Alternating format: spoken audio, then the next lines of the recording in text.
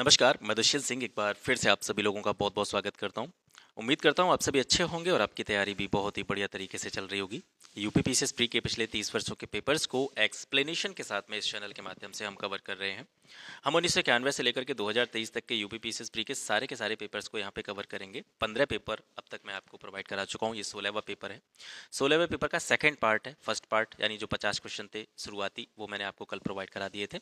तो यहाँ से जब ये सोलह पेपर कवर हो जाएँगे तो आप ये मान करके चल सकते हैं कि सोलह सौ, सत्रह सौ के आसपास प्रश्नों को एक्सप्लेनेशन के साथ में आपने पढ़ लिया है, समझ लिया है, ठीक तरीके से उन पर काम कर लिया है। आप में से काफ़ी सारे मित्रों का ये सवाल था कि सर, ये यू पी प्री के क्वेश्चन हैं या यू पी प्री के ये पेपर्स हैं तो क्या इनका बेनिफिट हमको R O R O exam में भी देखने को मिलेगा? तो मेरी बात को ध्यान से सुनिएगा, बाकी आपका विवेक क्या कहता है ये आपके ऊपर डिपेंड करता है। मेरा ये मानना है कि R O A R O का जो सिलेबस है प्रीलिम्स का जीएस वाला, इसके साथ साथ यूपी पीसीएस प्रीलिम्स का जो सिलेबस है, वो दोनों सेम है। एक ही आयोग है जिसके द्वारा ये दोनों के दोनों एग्ज़ाम कंडक्ट कराए जाने हैं। तो मैं व्यक्तिगत रूप से बड़े ज़ोर देकर के ये बात कहूँगा। मैं ऐसा मानता हूँ कि तीस सालों के पेपर्स पर अगर आपने बहुत अच्छी तरीके से काम किया, काम करने का मतलब ये नहीं है कि केवल आप क्वेश्चन क्वेश्चन पढ़ करके चले गए। प्रश्नों के ट्रेंड को समझा है, कहाँ से, किस पोर्शन से कितने प्रश्न पूछे जा रहे हैं, इसको समझा है। इसके साथ साथ आपने प्रश्नों के ऑप्शंस पे भी काम किया है, उसकी एक्सप्लेनेशन को ठीक से समझा है।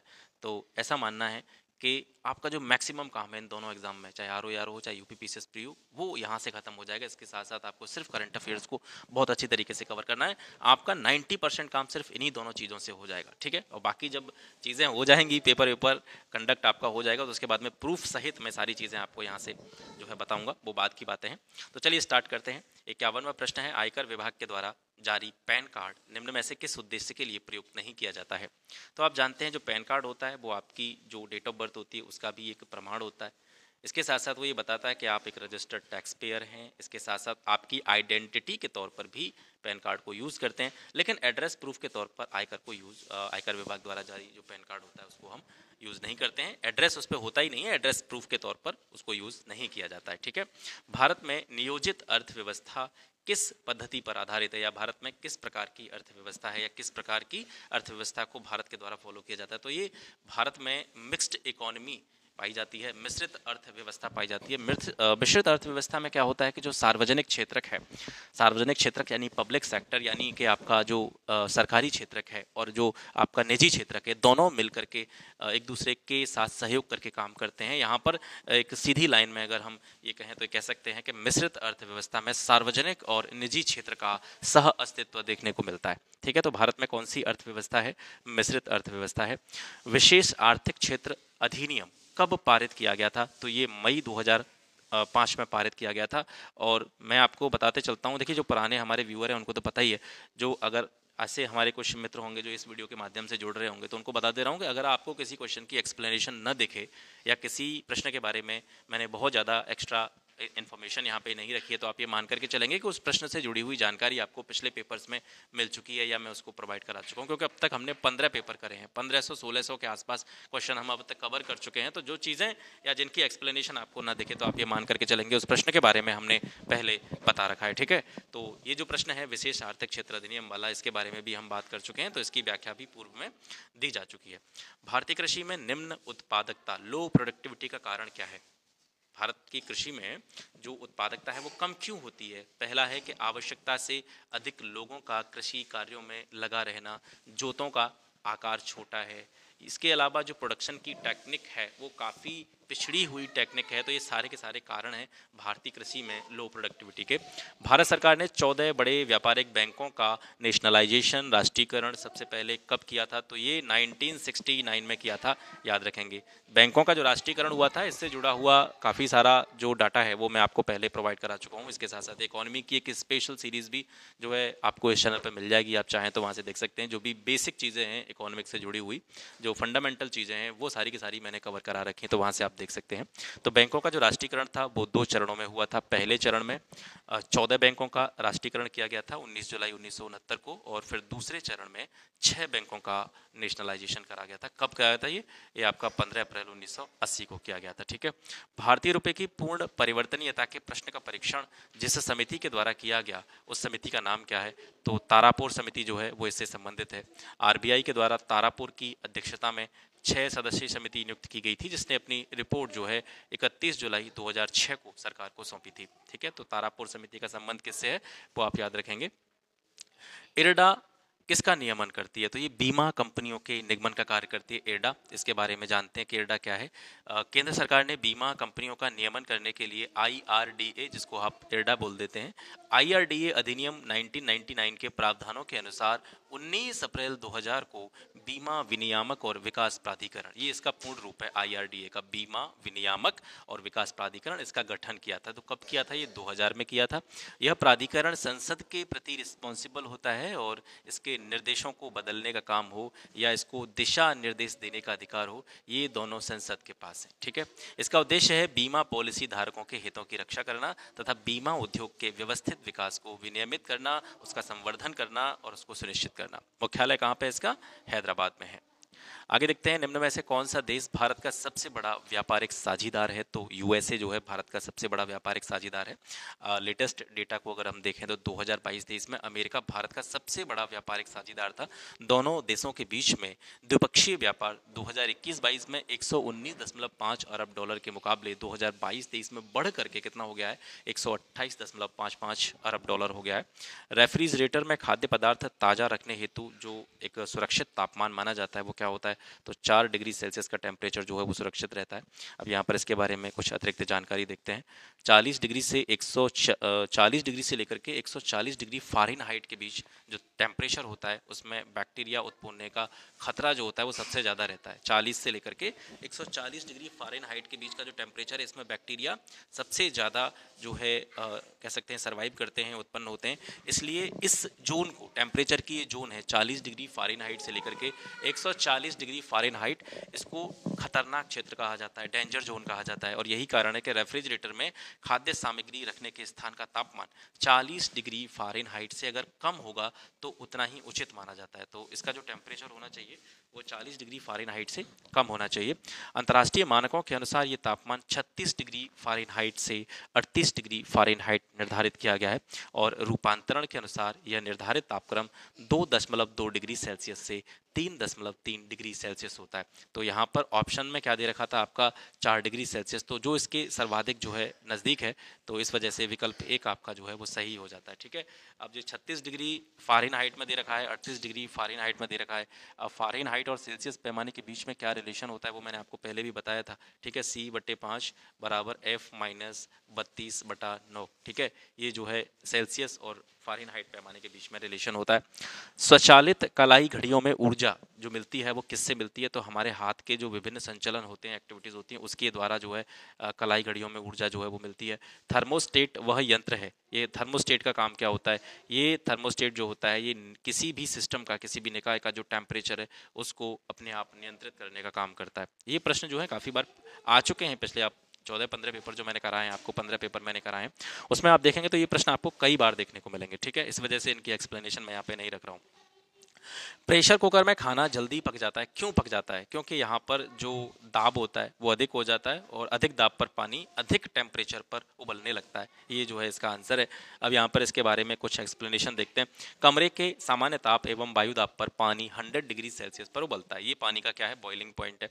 वायु दाब के बदलने पर पानी का जो बॉइलिंग पॉइंट है, क्वथनांक है, वो ऊष्मा की मात्रा में जो है परिवर्तन होता है। क्वथनांक में भी चेंज हो जाता है और ऊष्मा की मात्रा में भी चेंज होता है। जैसे जैसे जो दाब है, वो बदलता है। दाब बदलने के साथ साथ बॉइलिंग पॉइंट और ऊष्मा की जो मात्रा है वो बदलती जाती है।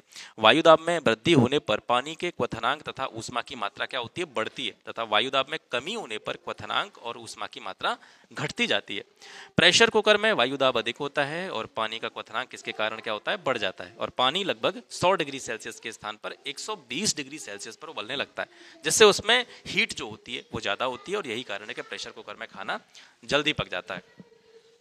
गर्मियों में सफ़ेद कपड़े पहनना ज़्यादा आरामदेह होता है। क्यों होता है? क्योंकि जो सफ़ेद कलर होता है, वो अपने ऊपर पड़ने वाली जो हीट होती है उष्मा होती है, उसको रिफ्लेक्ट कर देता है, परावर्तित कर देता है। आप देखते होंगे, ज़्यादातर लोग जो होते हैं, गर्मियों में सफ़ेद कपड़े पहनना ज़्यादा पसंद करते हैं। काला कपड़ा पहन करके आप धूप में निकल जाइएगा तो काला कपड़ा जो होता है या शर्ट वगैरह या जो भी आपका परिधान है, वो बहुत ज़्यादा गर्म हो जाता है, क्योंकि ब्लैक कलर जो होता है, वो हीट को क्या करता है? ऑब्ज़र्व करता है, अपने अंदर अवशोषित कर लेता है, ठीक है? और जो व्हाइट कलर होता है या व्हाइट कलर का जो कपड़ा होता है, वो ऊष्मा को क्या कर देता है? परावर्तित कर देता है। इसी वजह से हमें ये जो कपड़े होते हैं, थोड़े से अन्य रंगों के कपड़ों की अपेक्षा ज़्यादा आरामदायक लगते हैं। खतरे का सिग्नल लाल रंग का बनाया जाता है। कथन है, कारण क्या दे रखा है कि लाल रंग का जो प्रकीर्णन होता है स्कैटरिंग जो इसकी होती है, वो सबसे कम होती है। तो आपको पता है कि इसके बारे में हमने पहले भी बात करी है कि लाल रंग की जो वेवलेंथ होती है, वो सबसे ज़्यादा होती है। और जिस रंग की वेवलेंथ जितनी ज़्यादा होगी जितनी ज़्यादा उसकी तरंग दैर्ध्य होगी, उसका प्रकीर्णन उतना ही कम होगा। और जब प्रकीर्णन कम होगा तो कलर एक ही जगह पर आपको केंद्रित होता हुआ दिखाई देगा। है ना? क्योंकि वो प्रकाश उसका बिखरेगा नहीं, वो एक ही जगह पर आपको दिखाई देगा। बैंगनी रंग की जो वेवलेंथ होती है, वो सबसे कम होती है। सबसे कम तरंग दर्द वाला रंग होता है। और इसी वजह से इसके रंग का जो प्रकीर्णन होता है, वो सबसे ज़्यादा होता है। लाल रंग की तरंग दर्द सबसे ज़्यादा होती है, इसका प्रकीर्णन तरंग दर्द के कारण सबसे कम होता है। तो सबसे कम प्रकीर्णन होगा तो लाल रंग जो होता है वो दूर से देखने पर ही आपको नज़र आ जाएगा। ठीक है तो ए और आर दोनों सही हैं और आर ए की जो है सही व्याख्या है।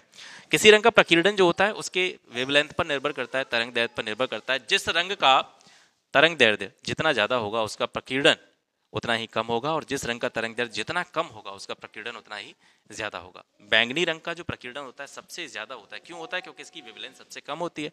और लाल रंग का प्रकीर्णन सबसे कम होता है। और क्यों होता है? क्योंकि इसकी वेवलेंथ सबसे ज़्यादा होती है। इसी कारण से खतरे का जो सिग्नल है, वो लाल रंग का बनाया जाता है, ताकि वो दूर से ही व्यक्ति को स्पष्ट रूप से दिखाई पड़ जाए। अगला प्रश्न है, निम्न में से कौन सा कथन सही नहीं है? तो आपको जो गलत कथन है, वो आपको यहाँ से चुनना है। तो पहला देखेंगे आपके एयर कंडीशनर और एयर कूलर दोनों तापक्रम को नियंत्रित करते हैं। तापक्रम मतलब टेम्परेचर को कंट्रोल करते हैं। सही बात है, जब आपको गर्मी लगती है हीट ज़्यादा हो रही होती है तो आप एसी में चले जाते हैं कूलर में चले जाते हैं तो टेम्परेचर आपका नियंत्रित हो जाता है।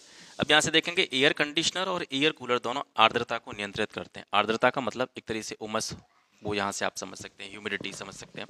तो जैसे आप एसी में जाएँगे तो आपको पसीना नहीं आएगा, ठीक है? आप ये फील करके देखेंगे, आप एसी में बैठे होंगे कहीं पे तो आपको पसीना नहीं आएगा, आर्द्रता वहाँ पर आपको फील नहीं होगी। लेकिन कूलर जो होता है, वो आर्द्रता को नियंत्रित नहीं करता है, क्योंकि आप देखते हैं कभी कभी कूलर में भी आप बैठे होते हैं तो हो सकता है आपको गर्मी नहीं लग रही हो, लेकिन कभी कभी आपका जो बॉडी है, वो चिपचिपी होने लगती है हल्का हल्का पसीना या उमस टाइप की आपको फील होने लगती है तो कूलर जो होता है, वो आर्द्रता को नियंत्रित नहीं करता है। और ये कह रहा है कि करता है तो ये कथन जो है आपका ऑप्शन जो आपका सही हो जाता है, क्योंकि एयर कूलर जो है आर्द्रता को कंट्रोल नहीं करता है, ठीक है? और बाकी का तीसरा है कि एयर कंडीशनर आर्द्रता को नियंत्रित करता है तो एसी तो नियंत्रित करता ही करता है, लेकिन एयर कूलर आर्द्रता नियंत्रित नहीं करता है तो ये सही है आपका। और चौथा है कि आपका दोनों वायु की गति को नियंत्रित करते हैं तो ये भी सही है, ठीक है? जब टीवी का स्विच ऑन किया जाता है तो श्रव्य और दृश्य मतलब जो विजुअल चीज़ें हैं, वो इसके साथ साथ इसकी जो वॉइस होती है, आवाज़ होती है, वो दोनों जो होते हैं, वो एक साथ में स्टार्ट होते हैं, ठीक है? तो पहला ही है अब ये तो आपको पता ही है कि फिर टीवी के ब्रांड पे तो निर्भर करेगा नहीं ये सारी चीज़ें कि श्रव्य और दृश्य एक साथ शुरू हो या नहीं हो। श्रव्य तुरंत सुनाई देता है, दृश्य बाद में दिखाई देता है, क्योंकि दृश्य को कुछ अभ्यास समय चाहिए, ये भी गलत है। और दृश्य तुरंत प्रारंभ हो जाता है, लेकिन श्रव्य बाद में सुनाई देता है, क्योंकि ध्वनि प्रकाश की अपेक्षा कम से चलती है ये कथन भी जो है गलत है। तो श्रव्य और दृश्य जो है दोनों एक साथ शुरू होते हैं। क्यों होते हैं? इसका कारण यहाँ पे आप देखिए, जब टीवी का स्विच ऑन किया जाता है तो श्रव्य और दृश्य दोनों एक साथ स्टार्ट होते हैं, क्योंकि ध्वनि की चाल जो होती है, आपको पता है ध्वनि की चाल प्रकाश की चाल से बहुत कम होती है तो नियम तो ये कहता है कि ध्वनि बाद में सुनाई पड़नी चाहिए, है ना? लेकिन टीवी में क्या लगाया जाता है? ऑडियो सिंक्रोनाइजर लगाया जाता है, जिस वजह से ये जो त्रुटि होती है बीच में टाइम में जो गैप होता है, श्रव्य दृश्य के में, इसको बैलेंस कर दिया जाता है।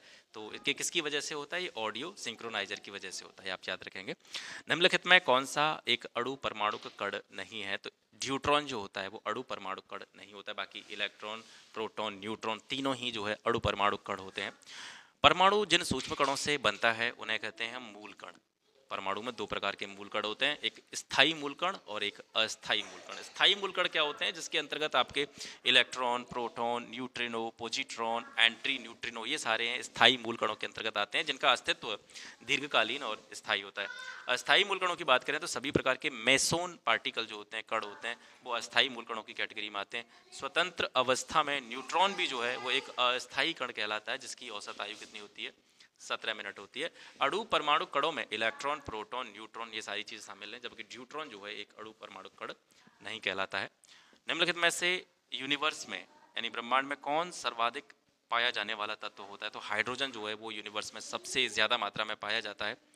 सर्वाधिक पाया जाने वाला तत्व जो है, वो हाइड्रोजन है ऑप्शन के अनुसार, और इसके साथ साथ आप देखेंगे यहाँ पे कि भूपर पट्टी की बात जब आती है कि जो हमारी भूमि है भूमि का या सतह का जो ऊपरी हिस्सा है ऊपर पट्टी, उसमें सबसे ज़्यादा पाया वाले तत्व कौन सा है? तो वो ऑक्सीजन है। और वायुमंडल में सबसे ज़्यादा पाया जाने वाला जो गैस है, वो क्या है? नाइट्रोजन है। तो ये तीनों चीज़ें यहीं से आप समझ सकते हैं।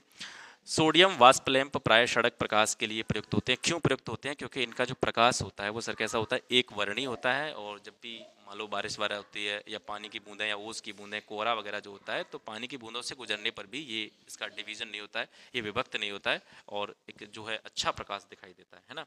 मूत्रालयों के पास में नाक में चुभने वाली गंध जो होती है, जैसे मार्केट में जो टॉयलेट बने होते हैं, पब्लिक प्लेसेस पर, उसमें बहुत तेज़ बदबू आती है। तो जो नाक में चुभने वाली जो स्मेल होती है, वो किसकी वजह से होती है? वो अमोनिया की वजह से होती है। मूत्रालयों के प्राय मूत्रालयों के पास प्राय नाक में चुभने वाली गंध का कारण है अमोनिया एन जो यूरिया के विघटन से प्राप्त होती है एन एच इसका फॉर्मूला होता है यूरिया का। मूत्र की बात करेंगे तो मूत्र हल्का अम्लीय होता है, जिसका पीएच लेवल लगभग सिक्स के आसपास होता है, और यूरोक्रोम वर्णक इसमें पाया जाता है, जिसकी उपस्थिति की वजह से मूत्र का रंग हल्का पीला होता है। मूत्र में 95 परसेंट वाटर होता है 2.6 परसेंट यूरिया होता है, दो प्रतिशत अनावश्यक लवणों के आयन होते हैं पॉइंट थ्री परसेंट क्रिएटिनिन और सूक्ष्म मात्रा में यूरिक एसिड और अन्य अपशिष्ट पदार्थ जो है इसमें पाए जाते हैं। ये इसका कॉम्पोजिशन है। पॉलीथिन में पॉलीथीन की जो थैलियाँ होती हैं, उनको नष्ट नहीं किया जा सकता, क्योंकि ये किससे बनी होती हैं? ये पॉलीमर से बनी होती हैं, बहुलक से बनी होती हैं, इस वजह से इनको नष्ट नहीं किया जा सकता है। पॉलीथीन को एथिलीन के बहुलकीकरण के द्वारा बनाया जाता है, पूछा गया क्वेश्चन है, याद रखेंगे। निम्न में से किसकी उपस्थिति के कारण दूध में मिठास आ जाती है? तो दूध में मिठास जो होती है, वो लैक्टोज की उपस्थिति के कारण होती है। ठीक है, दूध एक क्या है? कोलोइडल मटेरियल है, पदार्थ है, जिसका सफ़ेद रंग जो होता है दूध का, वो केसिन के कारण होता है। केसिन इसमें उपस्थित होता है, जिसकी वजह से इसका कलर जो होता है, वो कैसा होता है? वाइट होता है। दूध का पीला रंग, जैसे आप देखते हैं, गाय वगैरह का जो दूध होता है, हल्का पीलापन उसमें देखने को मिलता है तो वो कैरोटीन के कारण होता है। और दूध जो है लैक्टोबैसिलस जीवाणु के कारण खराब होता है, या दूध से दही बनता है, वो लैक्टोबैसिलस जीवाणु के कारण बनता है। सुअरों को मान, मानव रिहायशी क्षेत्र से दूर रखना किसके उन्मूलन में सहायता प्रदान करता है? तो अगर सुअरों का पालन मानव के रिहायशी क्षेत्र से दूर किया जाएगा तो जापानी इंसेफेलाइटिस जो रोग है, उससे बचा जा सकता है। जापानी इंसेफेलाइटिस रोग का कारक है फ्लेवरेडी कुल का वायरस ठीक है? एक वायरस होता है जो किस कुल से संबंध रखता है? फ्लेवरेडी कुल से संबंध रखता है।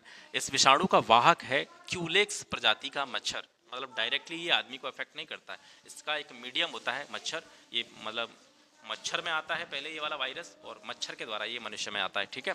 तो इसका वाहक जो होता है वो क्यूलेक्स प्रजाति का मच्छर होता है। पालतू सुअर तथा जंगली चिड़िया, जापानी इंसेफेलाइटिस विषाणु के वाहक होते हैं। विषाणुओं को मच्छर पालतू सुअर से प्राप्त करके मनुष्यों और जानवरों को क्या करते हैं? संक्रमित करते हैं। ये अन्य किसी पालतू पस में जापानी इंसेफेलाइटिस के विषाणु नहीं पाए जाते हैं। अगला है किसके जांचने के लिए एलिसा टेस्ट किया जाता है? तो एलिसा टेस्ट एड्स की जाँच के लिए किया जाता है। एड्स की फुल फॉर्म क्या होती है? एक्वायर्ड इम्यूनो डिफिशियंसी सिंड्रोम आपको पता है। और एलिसा की फुल फॉर्म होती है एंजाइम लिंक्ड इम्यूनोस और बेंट ऐसे ठीक है? ये एलिसा की फुल फॉर्म है। रक्तदाब नापने के यंत्र का नाम क्या है? तो स्फिग्मो मैनोमीटर की सहायता से ब्लड प्रेशर नापा जाता है। और ऑप्शन में जो टैकोमीटर एक्टीमीटर या बैरोमीटर दे रखे हैं, इनके बारे में भी जान लीजिए। टैकोमीटर की सहायता से वायुयान की गति का मापन किया जाता है। एक्टिनोमीटर जो होता है, ये सूर्य की किरणों की तीव्रता को मापता है और बैरोमीटर आपको पता ही है, वायुमंडलीय दाब का मापन करता है। सामान्य मानव शरीर का जो टेम्परेचर होता है, वो कितना होता है तो नाइन्टी डिग्री फारेनहाइट होता है। ये फारेनहाइट पैमाने पर होता है। मानव शरीर का सामान्य तापमान, वैसे अगर डिग्री सेल्सियस में बात की जाए तो 37 डिग्री सेल्सियस होता है और फॉरेन हाइट पैमाने पर ये 98.6 के आसपास जो है देखने को मिलता है। और इससे ऊपर का अगर तापमान होता है तो इसका मतलब है कि आपको फीवर है। सामान्य शरीर का जो तापमान है, वो किस पर आधारित होता है? होमोस्टैसिस पर आधारित होता है और होमोस्टैसिस क्या है? एक ऐसी घटना है जिसमें शरीर आंतरिक स्थितियों को यथासंभव स्थिर रखने के लिए अपने कार्यों को कंट्रोल करने का काम करता है। किस तत्व की कमी से घेंगा रोग हो जाता है? तो घेंगा रोग जो होता है वो आयोडीन की कमी से होता है। भोजन की आयोडीन का रुधिर में अवशोषण और संचरण आयोडीन आयनों के रूप में किया जाता है। थायराइड की अल्प क्रियाशीलता प्राय भोजन में आयोडीन की कमी या मूत्र में आयोडीन के अधिक उत्सर्जन के कारण होती है। मतलब थायराइड कम काम करने लग जाए या उसकी क्रियाशीलता कम हो जाए तो ये किसके कारण होती है? अगर आप भोजन में पर्याप्त मात्रा में आयोडीन नहीं ले रहे हैं या फिर मूत्र में आयोडीन का अधिक उत्सर्जन कर रहे हैं तो इस वजह से थायराइड जो है अल्प क्रियाशील हो जाती है। इससे शरीर में थायरोक्सिन की कमी हो जाती है, जो मनुष्य के उपापचय या मेटाबॉलिज्म की जो गति होती है, उसको धीमी कर देती है, जिससे जड़ मानवता, घेंगा या हाशी मीमोटो का रोग जो है वो यहाँ पे देखने को मिलता है। आम की बीज रहित प्रजाति का नाम क्या है? तो सिंधु जो है, आम की बीज रहित प्रजाति है, जिसमें बीज नहीं पाया जाता है। पीत क्रांति का संबंधित किसके उत्पादन से है? तो तिलहन उत्पादन को रिप्रेजेंट करती है आपकी येलो रिवॉल्यूशन पीत क्रांति इसके अलावा जो अन्य प्रमुख क्रांतियाँ हैं, वो सारी की सारी मैंने यहाँ पर ऐड कर दी हैं। जैसे हरित क्रांति, ये खाद्यान्न उत्पादन से संबंधित है। पीली क्रांति, तेल, बीज उत्पादन विशेष करके जो सरसों और सूरजमुखी, क्योंकि ये भी तिलहन फ़सलें हैं तो इनके उत्पादन से संबंधित है। गोल्डन फाइबर रेवोल्यूशन, ये किससे संबंधित है? ये फ्रूट्स, हनी एंड हॉर्टिकल्चर, बागवानी जो होती है, उससे संबंधित है। गुलाबी क्रांति का संबंध प्याज उत्पादन से भी है, औषधि उत्पादन से भी है और झींगा उत्पादन से भी है। लाल क्रांति का संबंध है आपका मांस उत्पादन से और टमाटर उत्पादन से। श्वेत क्रांति क्रांति या ऑपरेशन फ्लड जो है, ये दुग्ध उत्पादन से जुड़ी हुई है। भूरी क्रांति, ये जो है चमड़ा, कोको या गैर पारंपरिक उत्पाद जो होते हैं, उनकी प्रोडक्शन से जुड़ी हुई है। नीली क्रांति मत्स्य उत्पादन या मछली उत्पादन से संबंधित है। रजत क्रांति या सिल्वर क्रांति जो है, ये अंडा उत्पादन से संबंधित है। इसके अलावा कुक्कुट उत्पादन को भी जो है, आप रजत क्रांति का नाम देते हैं। सदाबहार क्रांति जो है, ये संपूर्ण रूप से कृषि का उत्पादन, यानी आपने जो देखा था आपने हरित क्रांति जो देखा था, वो खाद्यान्न, विशेष रूप से किसकी बात हो रही थी वहाँ पे? खाद्यान्न की बात हो रही थी। और खाद्यान्न में भी जो हरित क्रांति आई थी, वो विशेष रूप से गेहूँ और चावल की फ़सल के लिए थी। सदाबहार क्रांति का मतलब है, कृषि की जितनी भी चीज़ें होती हैं, उन सभी का उत्पादन, उस उत्पादन से जुड़ी हुई सदाबहार क्रांति। प्रोटीन क्रांति है उच्च उत्पादन से, हाई प्रोडक्शन से। और रजत फाइबर क्रांति का संबंध है, कपास के प्रोडक्शन से। ग्रे क्रांति ये जो है उर्वरक उत्पादन से जुड़ी हुई है। गोल क्रांति का संबंध आलू से है, काली क्रांति का मतलब है पेट्रोलियम उत्पाद, ठीक है? तो ये सभी क्रांतियाँ हैं जिनमें से अक्सर करके एग्ज़ाम में आपको काफ़ी सारी चीज़ें देखने को मिलती हैं, उसको आप यहाँ से देख सकते हैं। जार्विक सेवन क्या है? जार्विक सेवन है एक आर्टिफिशियल हर्ट ठीक है? एक कृत्रिम हृदय है जिसका आविष्कार किसने किया था? रॉबर्ट जार्विक नामक व्यक्ति ने किया था। उन्हीं के नाम पर इसका नाम जार्विक हृदय रखा गया। यह कृत्रिम हृदय पहली बार बर्ने क्लर्क नामक रोगी में 1982 में प्रतिस्थापित किया गया था। धूल रोकने के लिए सबसे उपयुक्त वृक्ष कौन सा है? धूल प्रदूषण, ठीक है? डस्ट पॉल्यूशन जो होता है, उसको सबसे ज़्यादा कौन सा वृक्ष रोकने का काम करता है? तो सीता अशोक का जो वृक्ष होता है, वो धूल प्रदूषण रोकने का काम करता है। किसी जल क्षेत्र में बीओडी बायोलॉजिकल ऑक्सीजन डिमांड इसको बोलते हैं। बीओडी की अधिकता अगर हो रही है तो वो किस चीज़ का संकेत है? तो अगर किसी भी जल क्षेत्र में बीओडी की अधिकता है तो इसका मतलब है कि उसका जल जो है या जो है, वो कैसा हो रहा है? पॉल्यूट पॉल्यूटेड हो रहा है, प्रदूषित हो रहा है। जैविक ऑक्सीजन मांग इसको कहा जाता है बायोलॉजिकल ऑक्सीजन डिमांड बीओडी संक्षेप में इसको कहते हैं। और ये ऑक्सीजन की वो मात्रा है जो सामान्य ताप पर किसी जल के एक लीटर हिस्से को पाँच दिन में सूक्ष्म जीवों में उपापचय क्रिया के लिए आवश्यक होती है। ये परीक्षण जो होता है, जल में उपस्थित जैव ऑक्सीकरणीय कार्बनिक पदार्थ का आकलन करता है। जल जितनी ही ज़्यादा मात्रा में प्रदूषित होता है, प्रदूषित पदार्थों के विघटन के लिए उसी अनुपात में ज़्यादा ऑक्सीजन की मांग होती है। तो जिस जल क्षेत्र में ज़्यादा ऑक्सीजन की डिमांड हो रही है, उस जल क्षेत्र क्षेत्र का जो जल है, वो उतनी ही ज़्यादा मात्रा में क्या है, प्रदूषित है, ये इससे पता चलता है, ठीक है? तो बीओडी जो है, जल प्रदूषण के मानक निर्धारण का महत्वपूर्ण घटक माना जाता है और बीओडी का अधिक होना जल के संक्रमण को दर्शाता है। पहला कंप्यूटर किसके द्वारा बनाया गया था? तो चार्ल्स बेबेज के द्वारा पहला कंप्यूटर बनाया गया था और इन्हीं को कंप्यूटर का पितामह भी कहा जाता है। आधुनिक कंप्यूटरों का लघु रूपकरण संभव हो सका है। किसके प्रयोग से जो है आधुनिक कंप्यूटरों का लघु रूपकरण संभव हो पाया? पहले आप देखते होंगे, पुराने ज़माने के जो कंप्यूटर थे काफ़ी बड़े बड़े होते थे और कंप्यूटरों का आकार जो है वो बहुत छोटा होता जा रहा है। ये किसके कारण संभव हो पाया है? ये संभव हो पाया है आईसी चिप्स के कारण, जिसको हिंदी में बोलते हैं हम समाकलित परिपथ चिप्स, इंटीग्रेटेड सर्किट चिप्स जो होती हैं। तो इंटीग्रेटेड सर्किट का सर्किट जो होता है, एक सूक्ष्म इलेक्ट्रॉनिक सर्किट होता है, ये वर्ष उन्नीस सौ अट्ठावन में आविष्कार होने के बाद में ट्रांजिस्टर के स्थान पर कंप्यूटरों में यूज़ किया जाने लगा था। तो पहले चिप्स के स्थान पर कंप्यूटरों में क्या यूज़ होता था? ट्रांजिस्टर यूज़ किए जाते थे। तो तब उनका आकार जो था कंप्यूटरों का बड़ा होता था। जब से आईसी चिप्स आए, ये इंटीग्रेटेड सर्किट आया, तब से जो है कंप्यूटरों का आकार धीरे धीरे छोटा होता चला गया है। संगणकों के आईसी चिप्स किसके द्वारा बनाए जाते हैं? मतलब किस चीज़ के ये बने होते हैं? संगणक का मतलब कंप्यूटर ही होता है। तो कंप्यूटर के जो आईसी चिप्स होते हैं, ये किससे बने होते हैं? तो ये सिलिकॉन के बने होते हैं। कंप्यूटर में उपयोग आने वाले इंटीग्रेटेड सर्किट चिप्स सिलिकॉन के बने होते हैं। सिलिकॉन एक क्या होता है? सेमीकंडक्टर होता है अर्धचालक होता है। सबसे पहले 1958 में जे एस किल्बी ने एक छोटे से चिप के रूप में संपूर्ण इंटीग्रेटेड सर्किट बनाया था, जिसे आईसी चिप कहा गया था। हिंडाल्को कहाँ पे स्थापित है? तो ये रेणुकूट में है, ठीक है?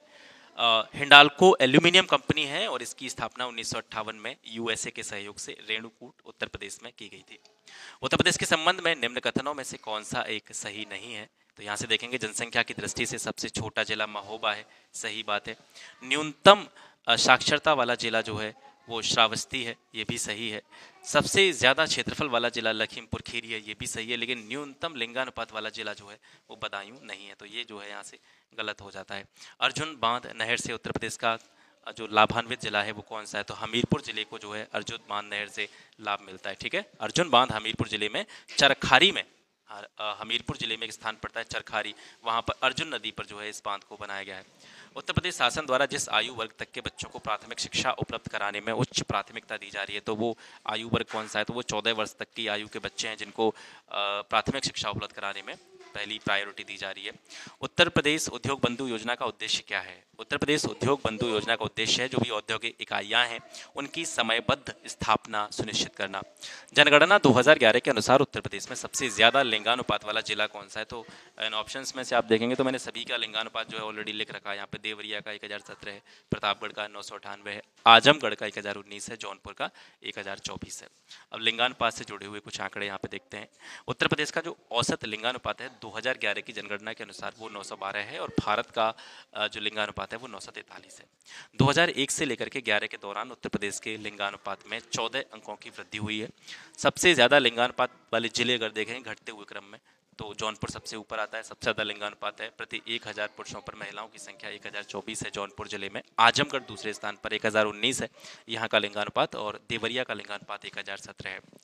न्यूनतम लिंगानुपात वाले ज़िले देखेंगे तो सबसे कम है यहाँ पे आपका गौतम बुद्ध नगर का आठ सौ इक्यावन है। हमीरपुर और बागपत, इनका लिंगानुपात आठ सौ इकसठ है। कानपुर नगर, बांदा और मथुरा का आठ सौ तिरसठ है। तो ये जो है न्यूनतम लिंगानुपात वाले ज़िले हैं उत्तर प्रदेश के। शिशु लिंगानुपात की बात करें 2011 की जनगणना के अनुसार तो उत्तर प्रदेश का शिशु लिंगानुपात यानी ज़ीरो से छः वर्ष आयु वर्ग के जो बच्चे हैं, उनका लिंगानुपात 2001 में 916 था 2011 की जनगणना के अनुसार ये जो लिंगानुपात है, ज़ीरो से छः आयु वर्ग वाला, ये कम होकर के 902 हो गया है। राज्य में सबसे ज़्यादा वह सबसे कम शिशु लिंगानुपात वाले जिलों की अगर बात करें तो सबसे ज़्यादा शिशु लिंगानुपात पाया जाता है बलरामपुर में और सबसे कम शिशु लिंगानुपात देखने को मिलता है आपका बागपत ज़िले में। महाधान, जिसको सुपर राइस कहा जाता है, ये विकसित किसने किया था? तो ये जी एस खुस के द्वारा विकसित किया गया था महाधान। महाधान क्या है? महाधान का विकास फिलीपींस स्थित अंतर्राष्ट्रीय चावल अनुसंधान संस्थान के मुख्य प्रजनक, जिनका नाम था गुरुदेव सिंह खुश, जिनको जी एस खुश कहा जाता है। इनके द्वारा इसका विकास किया गया था। नाइनटीन में इसने इन्होंने जो महाधान वाली किस्म थी चावल की इस पर काम करना स्टार्ट किया था। जी एस खुश को 1977 में बोरलॉक पुरस्कार दिया गया। उन्नीस सौ सतासी में इनको जापान पुरस्कार दिया गया और 2000 में इनको द वर्ल्ड फ़ूड प्राइज़ दिया गया। 2000 में इनको पद्म ऋषि से सम्मानित किया गया था। सुमेलन से जुड़ा हुआ प्रश्न है, मेले हैं और मेलों का स्थान है। बटेश्वर मेला, ये कहाँ से संबंधित है? आगरा से संबंधित है। देवा शरीफ मेला, ये बाराबंकी में लगता है। हरिदास जयंती वृंदावन में मनाई जाती है और नौचंदी मेला, ये आपका मेरठ में लगता है। महर्षि वाल्मीकि आश्रम कहाँ पे स्थापित है? तो ये बिठूर में स्थापित है। उत्तर प्रदेश के किस ज़िले में यूरेनियम के सीमित भंडारों की खोज की गई है? तो ये ललितपुर में की गई है। यहाँ पर मैंने जितने भी इंपॉर्टेंट कह सकते हैं, खनिज हैं उत्तर प्रदेश के, वो सारे के सारे यहाँ पर ऐड कर दिए तो दोबारा से आपको खनिजों के बारे में पढ़ने की ज़रूरत नहीं पड़ेगी। जैसे हीरा, ये बांदा और मिर्ज़ापुर में पाया जाता है। सोने की बात करेंगे तो शारदा और रामगंगा की रेट में परसोई क्षेत्र जो है सोनभद्र का, इसके अलावा ललितपुर का बेरवार क्षेत्र जो है, यहाँ पर सोने की जो है अयस्क पाए जाते हैं।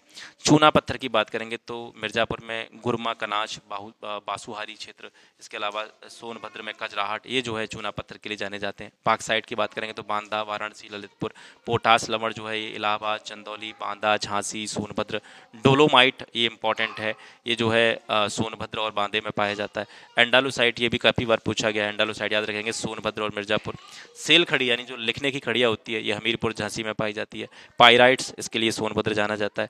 रॉक फास्पेट की बात करेंगे, ये भी पूछा गया क्वेश्चन है, रॉक फास्पेट वाला, ठीक है? ललितपुर। चाइना क्ले ये भी पूछा गया क्वेश्चन है।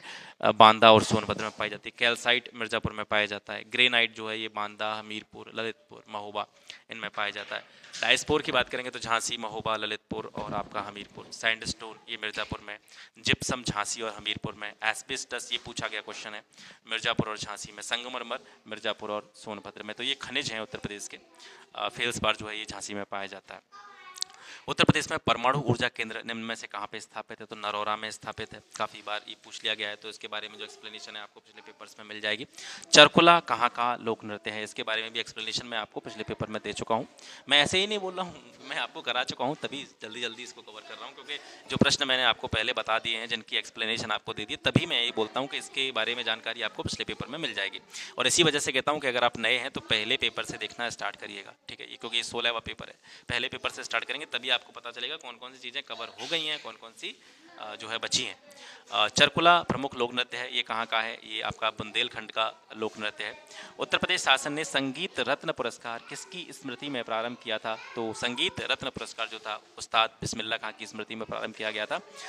यूपी गवर्नमेंट ने 21 अगस्त 2006 को प्रख्यात सहनाई वादक उस्ताद बिस्मिल्ला खां की स्मृति में संगीत रत्न पुरस्कार की घोषणा की थी। इसमें पुरस्कार स्वरूप दी जाने वाली जो राशि होती है, वो पाँच लाख रुपये होती है। रिज़र्व बैंक के उस गवर्नर का नाम क्या है, जो वित्त मंत्री भी हुए थे तो सी डी देशमुख ऑप्शन के अनुसार। सी डी देशमुख जो है, एक ऐसे गवर्नर हैं, जो वित्त मंत्री के पद पर भी कार्य कर चुके हैं। भारत के रिज़र्व बैंक के तीसरे गवर्नर, ठीक है 1943 से उनचास तक रहे थे सी डी देशमुख। ये 1950 से छप्पन तक देश के वित्त मंत्री के पद पर भी जो है इन्होंने काम किया था।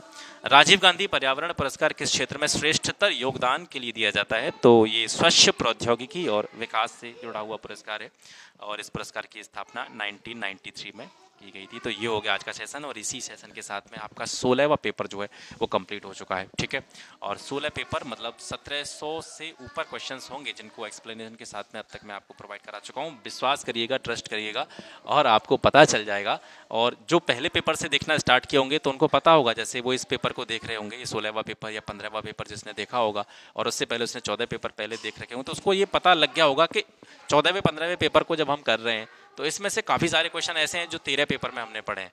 और यही ट्रेंड है यूपी पी का, इसी को आपको समझना है। पी में 40 परसेंट मिनिमम आपको मैं क्राइटेरिया बता रहा हूँ। कम से कम 40 प्रतिशत प्रश्न तो ऐसे होते ही होते हैं जो प्रीवियस ईयर क्वेश्चन से रिपीटेड होते हैं। आपको समझना है। हंड्रेड परसेंट की तरफ़ आपको जाना नहीं है। प्रीवियस ईयर पेपर आपको बहुत अच्छी तरीके से तैयार करना है और ऐसी बात है नहीं कि आप आज से ही पढ़ना स्टार्ट कर रहे होंगे। अगर आप पीसीएस या हारो यारो की तैयारी कर रहे हैं तो पिछले एक साल से लगभग आप काम कर ही रहे होंगे तो आपकी जो बेसिक चीज़ें होंगी वो क्लियर होंगी। तो उसके अलावा जो आपको सबसे ज़्यादा फोकस करना है प्रीवियस ईयर पेपर्स पर करना है, मैं हमेशा आपसे कहता चला आया हूँ कि इनको आप बिल्कुल भी नज़रअंदाज मत कीजिएगा। बाकी जब पेपर हो जाएँगे ना, चाहे आर ओ का हो, चाहे यू पी प्री का हो, मैं प्रूफ के साथ में आपको इसी सीरीज़ से बहुत सारे क्वेश्चन मैं आपको दिखाऊँगा यहाँ पर, तब आपको ये रियलाइज़ होगा, क्योंकि कभी कभी क्या होता है कि ना, बड़ा चैनल नहीं है तो लोग ट्रस्ट नहीं कर पाते हैं, और क्योंकि ये सारी चीज़ें आपको वैसे ही मिल रही हैं फ्री मिल रही हैं, यही चीज़ अगर किसी बड़ी कोचिंग का टैग लगा करके आपको मिल रही होती और कचड़ा परोसा जा रहा होता आपको ये भी नहीं आपको दिया जा रहा होता तो भी आप जो है उसको लेते, ठीक है? आपको पता है कि मैं वीडियोस प्रोवाइड करा रहा हूँ आपको, इसके साथ साथ पीडीएफ भी प्रोवाइड करा रहा हूँ, क्योंकि आपको ये ट्रस्ट हो सके कि ये सारी चीज़ें ऐसी नहीं है कि मतलब आप कहीं से भी किसी कोचिंग से बहुत बड़ा कोर्स ले लिया। देखिए, कुछ चीज़ें ऐसी होती हैं जिनको आप चाहो तो कॉम्प्लेक्स बना लो, लेकिन दरअसल वो कॉम्प्लेक्स होती नहीं है, ठीक है? तो चीज़ों को हमें ऐसे नहीं देखना है कि ये बहुत ज़्यादा कठिन है। चीज़ों को हमको सरल बनाना है। अब आप सौ किताबें इकट्ठा कर लो अपनी अलमारी में, वो भी जो है काम नहीं करेंगी, लेकिन आप एक चीज़ को भी बहुत अच्छी तरीके से फॉलो कर लेंगे और बार बार उसको रिवाइज कर लेंगे तो वो भी कभी कभी जो है आपको बहुत ज़्यादा बेनिफिट दे जाएगी, ठीक है? तो आज के लिए बस इतना ही, मिलते हैं आपसे फिर एक नेक्स्ट वीडियो में एक नए टॉपिक के साथ में, तब तक के लिए नमस्कार, जय हिंद।